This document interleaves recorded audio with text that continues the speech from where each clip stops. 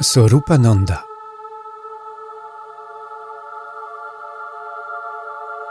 Sorupasaram La splendeur du soi.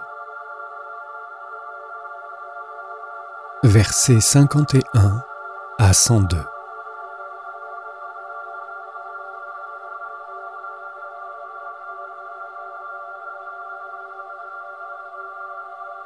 Quelle vérité y a-t-il dans le reflet du monde? Qui se manifeste dans l'unique, mais n'apparaît pas comme un Comme les scènes surgissant dans la vision d'une personne troublée, le monde apparaît multiple uniquement à ceux dont la connaissance est défaillante et qui, par conséquent, ne le voient pas comme la seule et unique réalité.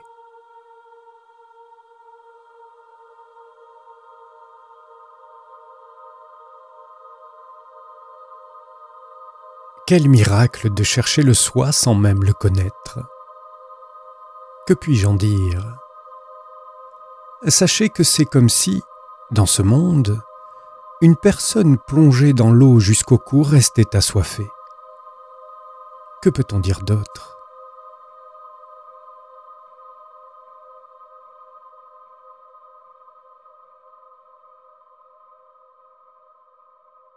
Vous qui êtes devenus arrogants, en débitant les Écritures. Vous qui accumulez du karma avec votre caste et votre lignée, ne pouvez-vous devenir sadvik, connaître votre soi à travers votre propre soi, abandonner vos constantes activités et rester tranquille?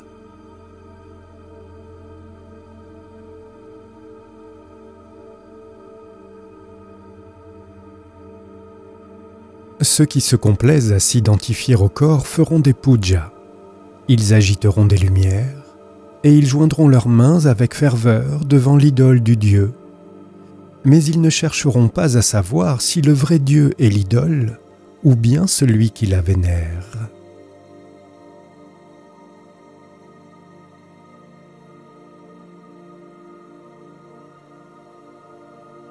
Le jour propice du festival du char, ceux qui s'identifient au corps iront acclamer le char. Hélas, se détournant de leur propre soi, qui vont-ils vénérer? Le Dieu que l'on voit sur le char n'est pas la plénitude. Personne ne sait-il cela?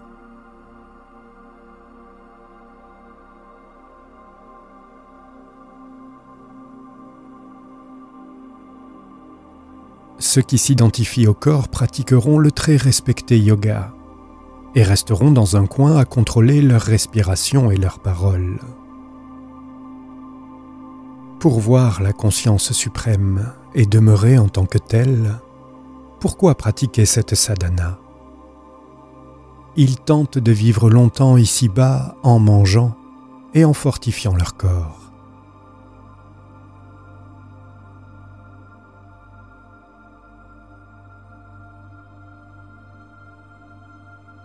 Sans aucune difficulté, ils prendront le bol du mendiant dans leurs mains. Ils se raseront la tête et se vêtiront d'un simple pagne. Et ils apparaîtront comme de grands sages. Mais connaîtront-ils aussi la félicité de dormir sans dormir dont jouissent ceux qui ont renoncé à l'ego?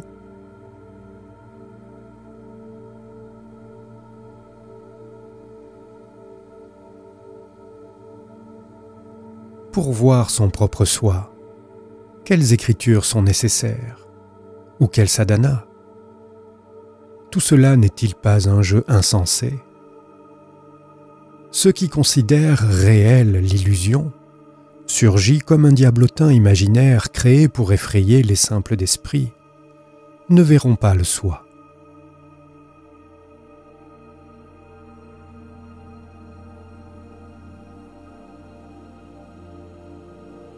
Quelle est l'utilité d'une sadhana qui ne permet pas de voir le chercheur? Les objets qui apparaissent multiples, comme par exemple masculin, féminin et neutre, ainsi que celui qui voit et demeure un, tous ces aspects sont uniquement la manifestation de la conscience parfaite. Peuvent-ils exister en dehors de la conscience? Comment une sadhana, même pratiquée avec une grande assiduité, pourrait-elle profiter à ceux qui n'ont pas maîtrisé cette connaissance? Pourrait-elle profiter à ceux qui n'ont pas maîtrisé cette connaissance?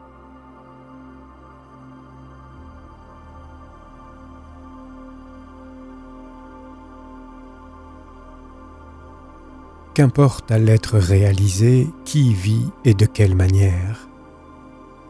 Qu'importe à l'être réalisé qui va où et comment. Son état solitaire est semblable à celui d'une chauve-souris pendue à sa branche. Totalement détaché, il connaîtra dans son sommeil l'état béni qui jamais ne disparaît. Lui seul sera dans la béatitude.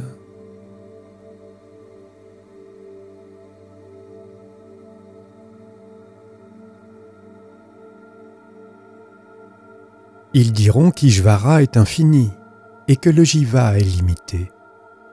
Ils diront que le Jiva est comme l'œil et Ishvara comme le soleil.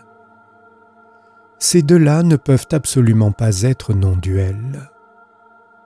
Seule la conscience pure, qui n'est ni l'un ni l'autre, est Shivam.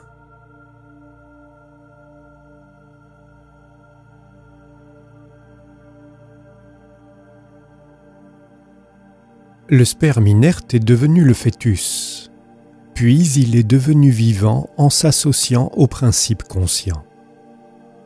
Il apparaît réel.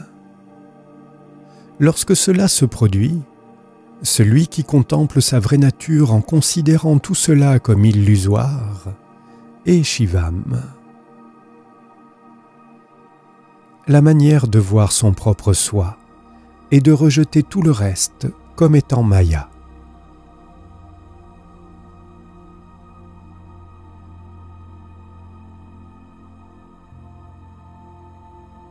Le soir resplendissant de lui-même détruit la nuit comme le jour, qui tous deux déterminent hier, aujourd'hui et demain. Par conséquent, seul est Shivam celui qui est devenu le soi, et donc vénère le jour propice qui demeure éternellement le seul et unique jour.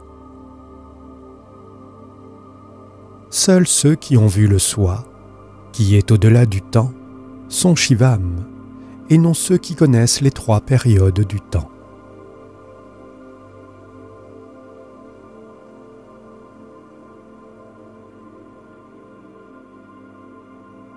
On peut connaître les Jnanasashtra, les écritures parlant de la connaissance, ou prendre la voie vertueuse du sannyasa, ou encore tenter de faire l'expérience de Mauna Samadhi.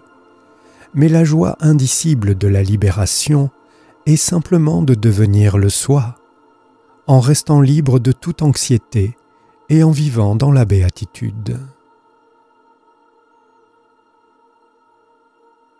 La libération est goûtée dans le soi uniquement dans la tranquillité et l'absence d'anxiété.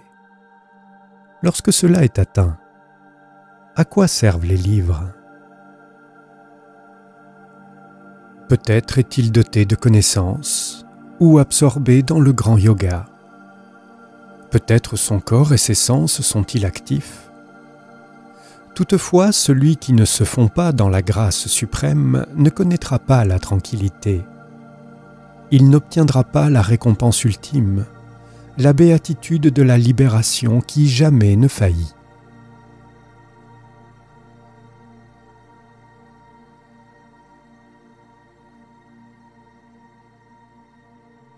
Vous, êtres indignes et ignorants qui vous complaisez dans les trois sortes de prarabdha,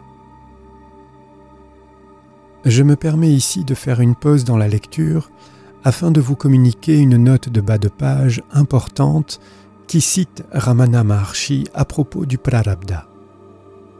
Il y a trois catégories de prarabdha qui sont les actions que le corps doit accomplir dans cette vie. Icha, qui est personnellement désiré, anicca, qui est sans désir, et parecha, qui est dû au désir d'autrui. Pour celui qui a réalisé son propre soi, il n'y a pas d'Icha Prarabdha. Les deux autres, Prarabdha Anicca et Parecha, demeurent. Tout ce que l'être réalisé fait est uniquement pour autrui.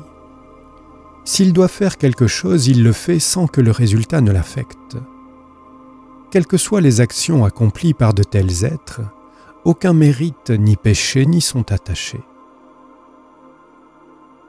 La tour du moulin à vent, qui sert de support aux ailes et leur permet de fonctionner, demeure immobile. Il n'y a que les ailes qui bougent. De la même manière, le soi n'est pas touché par le prarabdha, qui n'affecte que le corps. Vous, êtres indignes et ignorants, qui vous complaisez dans les trois sortes de prarabdha, si vous comprenez que ceux qui acceptaient les aumônes deviennent les donateurs, vous pouvez être comme la tour qui supporte les ailes du moulin à vent.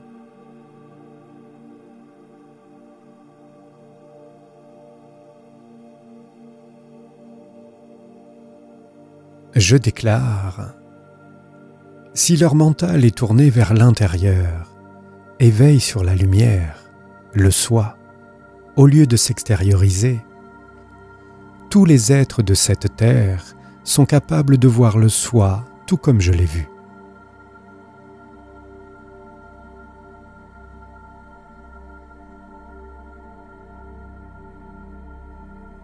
Celui qui a clairement vu dans son mental à la fois l'auteur des actions et les actions elles-mêmes, et, s'étant ainsi délivré, est devenu la réalité, accomplira-t-il toute action au moment prescrit, dans chaque incarnation sans exception?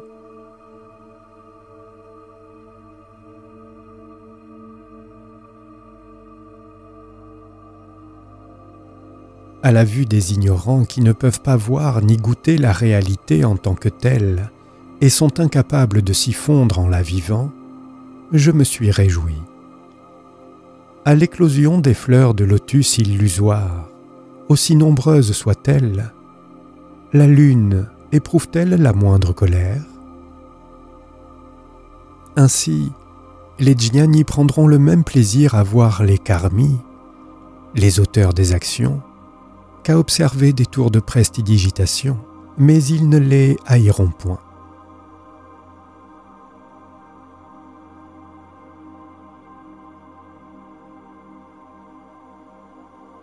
Telle la mangue sucrée apparaissant sous l'arbre épineux du Karuvelam, le lotus des pieds divins du gourou, qui a le pouvoir d'accorder la grâce qui m'a transformé en la réalité briguée par tous et en tout lieu, est venu à moi, qui était la proie du mal, et transmigré de réincarnation en réincarnation.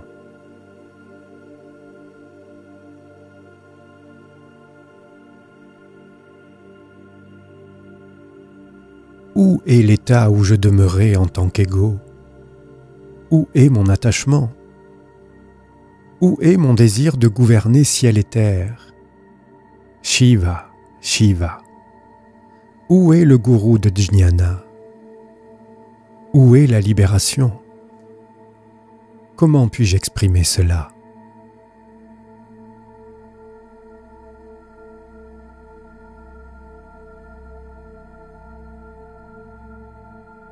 Je n'ai rien obtenu d'autre que mon propre soi, qui n'a jamais cessé d'être en ma possession.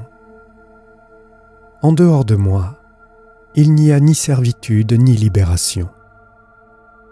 Si l'on voit cela, même le mental qui se penche sur cette question est inexistant.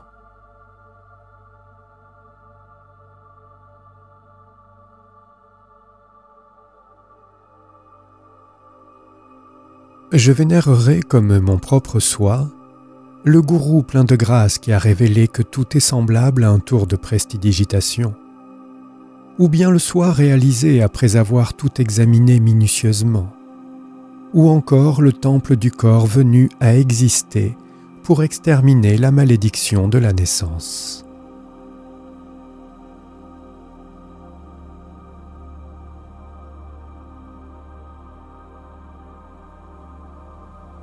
Toi, le corps, tu n'es qu'une enveloppe de nourriture. Si vous faites comme je vous le dis, vous connaîtrez la béatitude aussi longtemps que vous vivrez. J'en prête serment. ne touchez pas au mal ni au vasana stérile. Quoi qu'il advienne en raison du prarabdha, demeurez un simple témoin.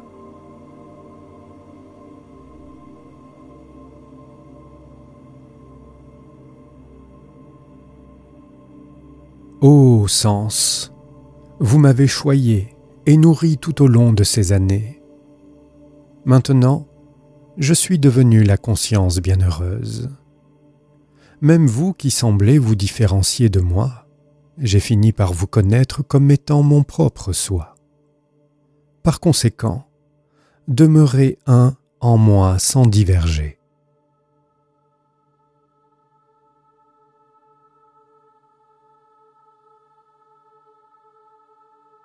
Ô désir, quoique tu m'aies causé bien des souffrances, c'est grâce à ton appui que je suis demeuré dans le soi.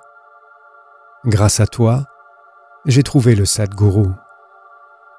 En atteignant la libération, je suis devenu le soi, tout comme toi. J'en prête serment.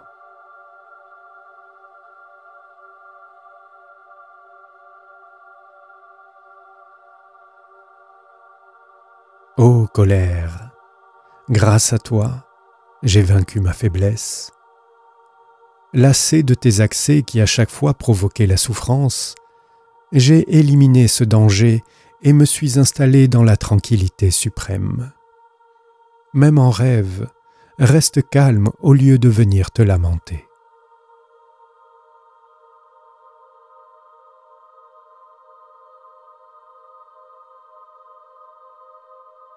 Ô avarice, je t'ai considéré comme un parent. Ceux qui ne connaissent pas la vérité disent que ta forme n'est que péché. Tu te donneras beaucoup de mal dans le seul but d'accumuler. Ô pécheresse, grâce à toi, je suis maintenant possédé par la paix.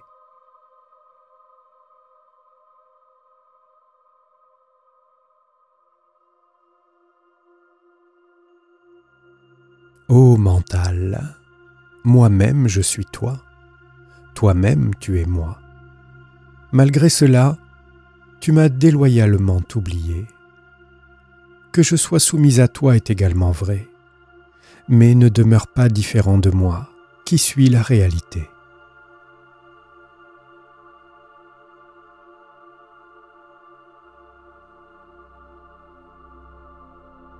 Ô mon mental, tu as erré, peiné, et acquis de nombreux talents en cherchant un moyen de pourvoir à tes besoins. Tu as cherché un Sadguru, et tu me l'as donné. À toi qui fus si attentionné à mon égard, quelle aide ai-je apporté en retour?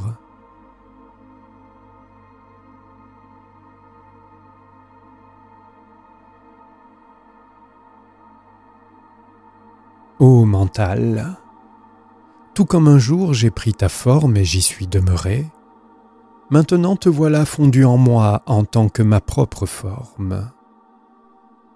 Y a-t-il quelqu'un qui apprécie autant que toi la vertu de gratitude? Conséquemment, demeure dans la sollicitude bienveillante de l'état suprême sans reprendre ta forme antérieure.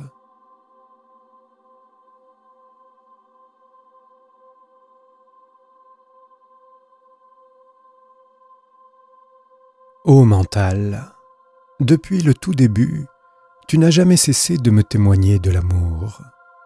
Par cet amour, tu m'as permis de cultiver toutes les vertus d'un disciple, à commencer par la patience.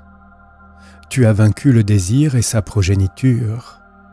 Maintenant, comme moi, tu restes tranquille grâce à une discrimination véritablement correcte.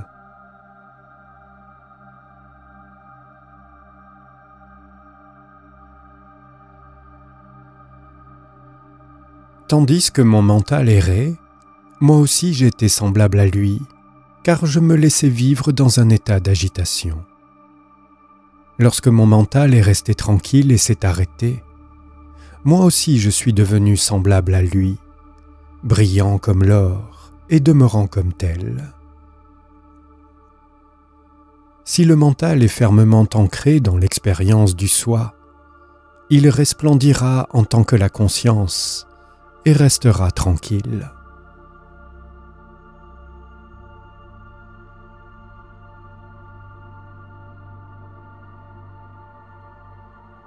Tout ce qui doit venir, laissez-le venir. Tout ce qui doit partir, laissez-le partir. Même une vie de mendicité, je ne la rejetterai pas comme imparfaite. Même l'état de Brahma, je ne le convoiterai pas. Je suis devenu toutes les actions.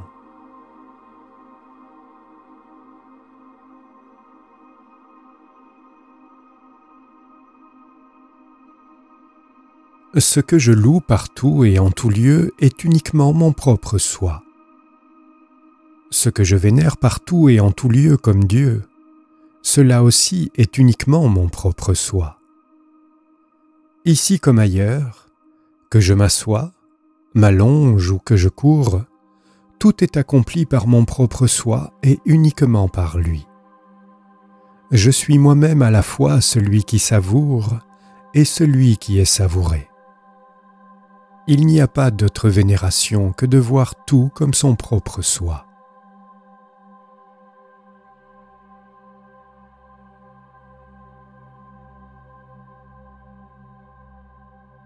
Celui qui a atteint la libération verra tout ce monde qui apparaît dans le soi, demeure dans le soi et se fond dans le soi, comme n'étant pas différent de son propre soi. Le verra-t-il comme opposé à son propre soi?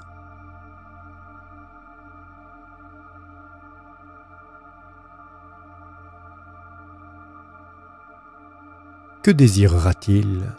Devant quoi se dressera-t-il en tant que je Qu'est-ce qui provoquera son envie et sa méchanceté? Il demeurera comme le support immuable de tout, comme l'ensemble des êtres animés et inanimés, tel le grand mont Mérou, qui est l'axe des sept mondes.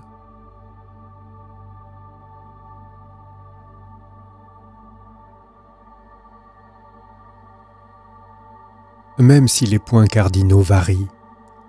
La lune se consume, le feu se refroidit, ou le soleil se déplace du nord au sud. L'état du soi de l'être libéré, qui a examiné minutieusement l'état primordial, ne s'altérera pas.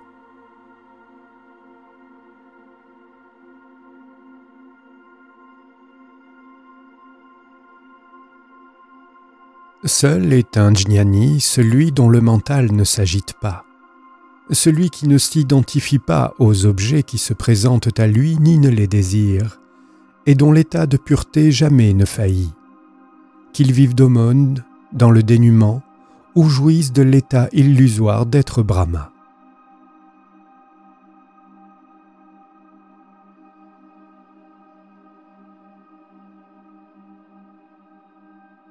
Il arrive que certaines personnes prononcent des paroles de louange et de vénération, ou que d'autres, cruelles et malveillantes, des paroles calomnieuses et diffamantes.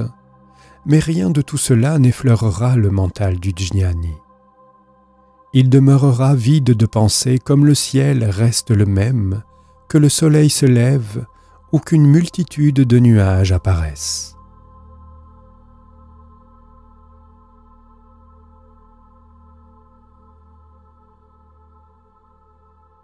Quels que soient les délices qui se présentent à lui, et quelle qu'en soit la quantité, le jnani les acceptera.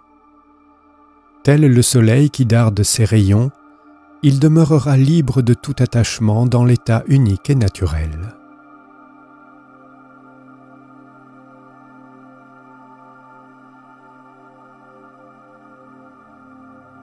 Le désir, la colère et autres vasanas n'affecteront pas l'être libéré, devenu la forme de la conscience et le témoin du monde, étant donné qu'il a déraciné et détruit toutes les basses vasanas, et donc se trouve sans sankalpa, sans intention.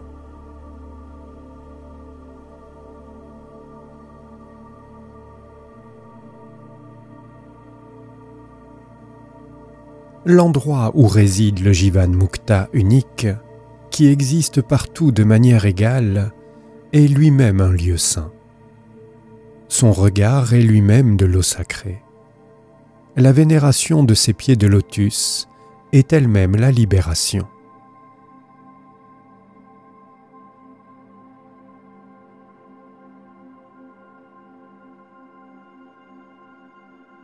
Les djnani ont la voix douce, leur regard est dépourvu de désir, tout ce qu'ils vivent est sat, et sat seulement. Ils ont une démarche posée, et leur mental est empli d'une joie qui jamais ne faiblit. La caractéristique d'un djnani est de rester fermement ancré dans ses attributs.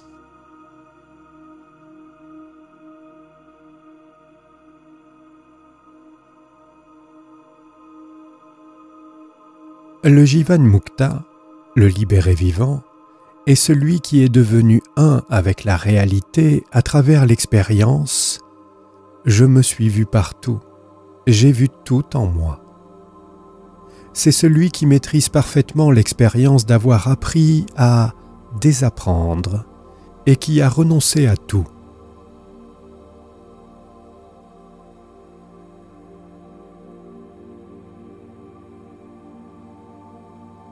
Pour le Jnani devenu un, tranquille et irréprochable, tout, à commencer par l'espace et en incluant les autres éléments, tout est sa propre forme.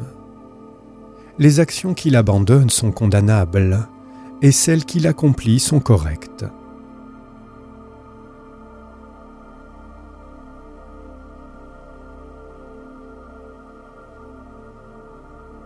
Pour un jnani, Méditer sur la conscience est comme prendre un bain.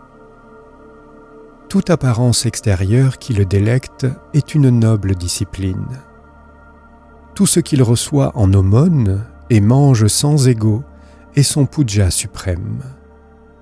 Ses mouvements parfaits sont pur samadhi.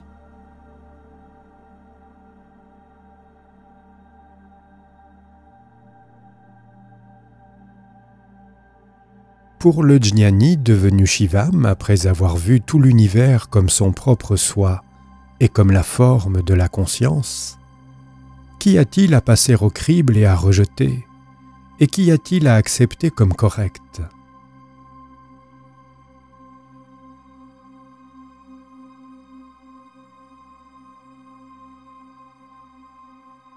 Sache que tous ces êtres cruels, qui trouvent condamnable la vie des djnani ayant atteint la béatitude suprême, endureront des milliards et des milliards de vies, tel le ver à soie qui jamais ne se détache de son cocon.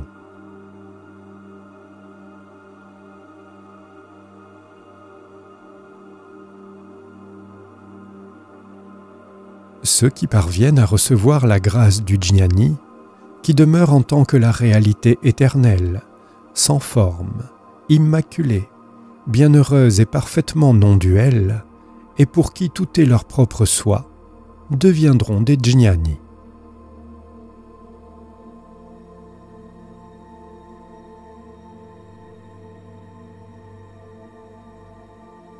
Les djnani se sont débarrassés de l'impureté du mental. Ils se sont débarrassés du mental ils se sont débarrassés de l'entité à l'intérieur du mental. Ils ont transcendé la rive de la jnana. Ils se sont débarrassés de l'état bienheureux de la conscience, l'état suprême. Ils se sont débarrassés de l'expérience de Shivam. Ils sont également débarrassés de tous les concepts.